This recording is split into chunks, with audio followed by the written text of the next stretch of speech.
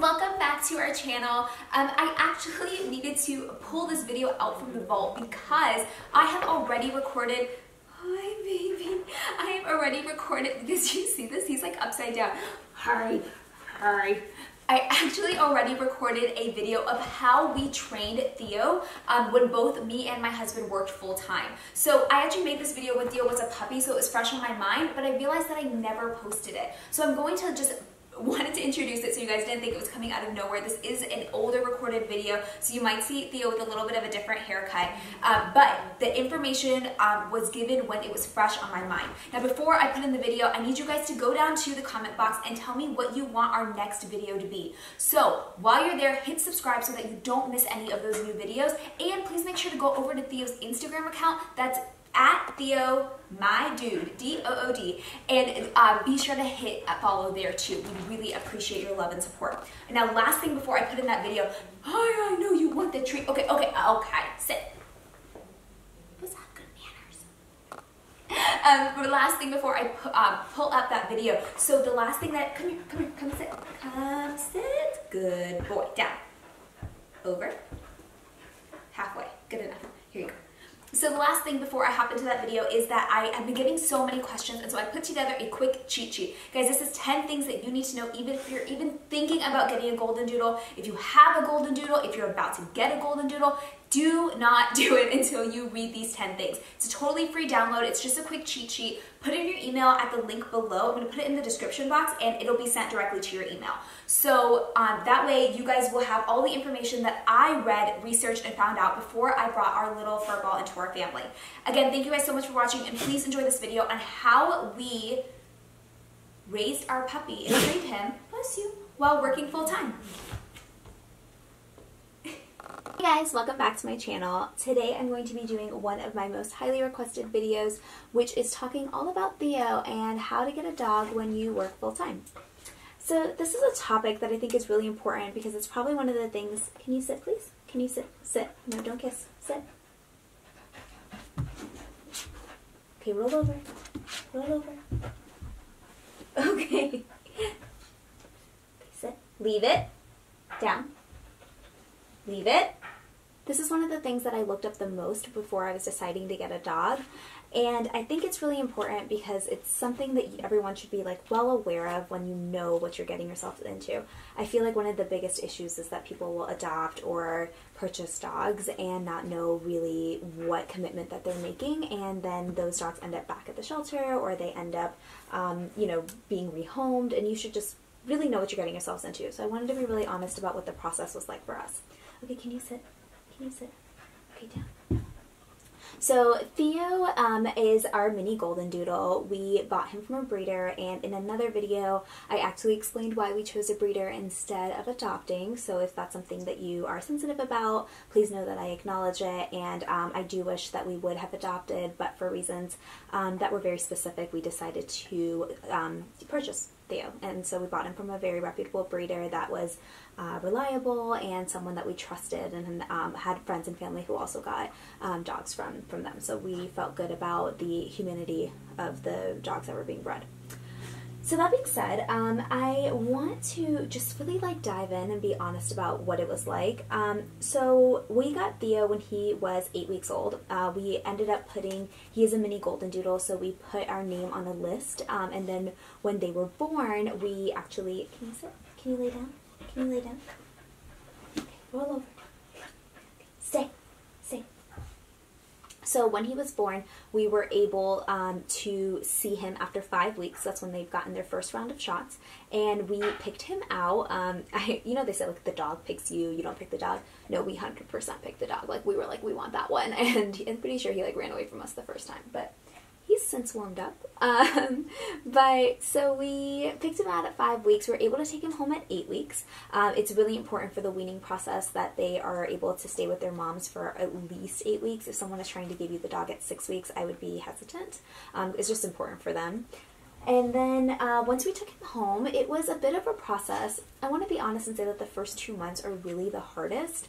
Um, it definitely gets easier, but those first two months, like boy oh boy, Um, but there's a light at the end of the tunnel. I would say that he was more or less fully trained by like six months, and we gave him full reign of our house by like eight months.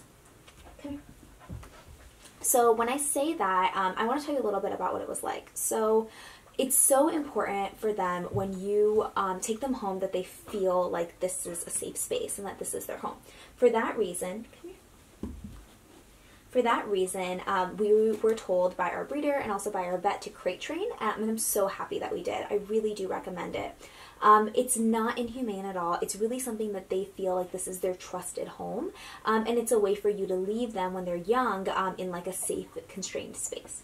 So he was crate trained. We kept him in our crate till about six months, and then he graduated uh, at like the seventh month to a four by four playpen. Um, and then by eight months, we of blocked off an area for him, separating that playpen. I'll link to all of the things that we used below. Um, and then after eight months, we just kind of gave him free reign of the house, and we haven't really looked back. Theo is a year old now, if that helps. So um, the first two three months really, um, my husband and I both work full time. So what we did is that his hours are a little bit more flexible, but I we, we would leave for work at roughly the same time. Um, he would leave a little bit later than I did because he comes home later than I do. Um, so the his last kind of potty break or like the last time he was taken out was around 9 a.m. ish. So from 9 till about 11:30, I would come home from work. I'd take an early lunch and I would be with him till about 12:30. The same day, my husband would then come home around 1:30 and stay with him till about 2:30, and then Theo would have his like longest stint from about 3:30 to around 5 when I got home from work. Um, and then it would be like till 7 and then 9 and then 11. So it's true. Like if you don't plan on using potty pads, you have to take your dog out every two hours. Like regard, especially if they're in a crate.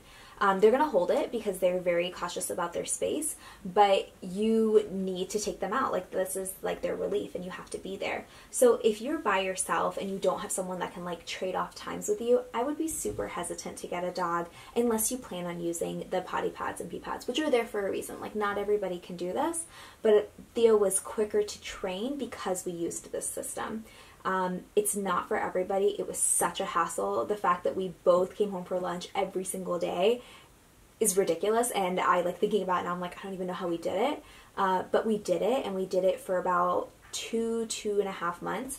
Um, at really around two months, that's when we cut it to like either one or the other would come, and we'd come right around 12. And then from there, we just like kept doing that until six months. And then after six months, we took away the like lunchtime visit, which is also when he had a little bit more um, reign and a little bit more space.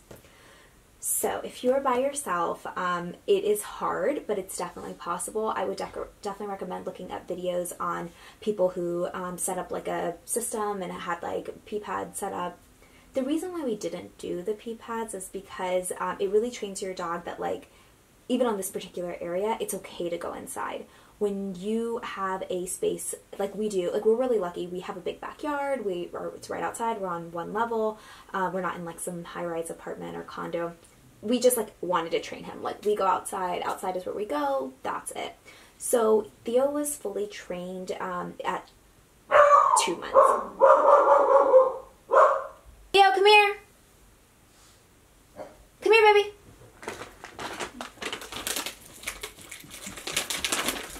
Good boy. Come here. Sit. Sit. Okay, okay, okay, sit. Sit. Sit. Sit. Sit. Stay. So because we didn't use pee pads, Theo was fully trained to go outside at two months, which is, I think, really impressive, but also just situational. It was, we were lucky because of our situation and that we had two people. So if you don't have two people and if that can come home every single day, or if you have one person that can be home every single day, and let your dog out every two hours, I do think you have to use pee pads. It will be a lot harder. It will probably take a lot longer, but it's definitely possible. And I'm sure there's a million videos on YouTube and articles on how you can do that. So don't feel discouraged, but I did want to be really honest and explain what the process was like for us. Um, Theo is such a great dog, and we're so happy that we got him, but we look back on that time in the beginning and we're like, oh, that was rough. But The training process, even like to giving him full reign of the house and not having to come home at lunch, took about six months from, um, actually when he was six months old. Yeah, so really only four months because we got him at two months. Is that right? Yeah, I think that's right. That's right. So four to six months is what you're looking at for like these everyday midday breaks. After that, it'll be easier. You can also adopt a dog that's a little bit older if that's something that you're concerned about. But if you're getting a puppy, every two hours is definitely the rule. I think the general rule of thumb is um, okay, down, down, down, down the general rule of thumb is one hour longer than their age. So if they're two months, they can hold it for three hours. If they're three months, they can hold it for four hours, etc., etc. Um, now Theo um, goes out when we leave for work, so really around like 8:30 is his first break, and then I come home around 5:30 to 6, and that's his second break. And then we take him out one more time before bed. So he's a pro now because he's a year old. Um, and also, I want to say that it depends on the size of the dog. Like, if you have a really small dog, they're going to have a really small bladder. And if you have a bigger dog, they'll have a bigger bladder. Theo's about 30 pounds for reference. 35 on a fluffier day. Can you sit? Can you stay? Can you stay? Okay, okay. Can you stay? Can you sit?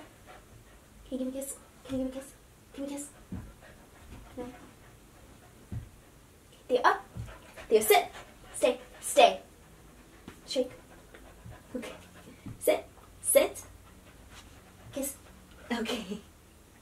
Um, so Theo is such a great dog, and I definitely recommend if you're looking to get one to do tons of research. I'll put the channels of some of my favorite YouTubers that I learned so much about Theo from. If you're interested, start watching those videos now. You can never have too much knowledge, but please educate yourself before getting, uh, purchasing, or adopting any dog. I definitely um, advocate for not returning your dog when you get him. This is your lifelong investment, so to say. Um, but good dogs are great, and I'm so lucky to have them in our lives. And we would, I would go through it all over again. I don't know about my husband. Say bye.